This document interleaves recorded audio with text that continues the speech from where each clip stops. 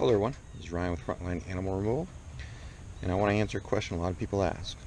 A lot of people ask, what is my least favorite animal to deal with? Well, let me show you. This is my least favorite animal, the red squirrel. They are nothing but trouble. You might ask, why do I think they're nothing but trouble? This squirrel decided to get into this house in this ridge vent.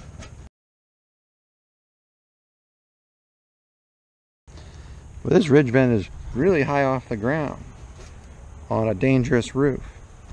So not only do I need a ladder to get up to the edge of the roof, but then I need a chicken ladder which hooks up here on the ridge just to get up here. My chicken ladder wasn't long enough, so I had to use 2x4s to anchor to the roof just to get to my chicken ladder. So yeah, this one is a real pain in the butt to catch. But hey, I caught her. Let's go check some traps.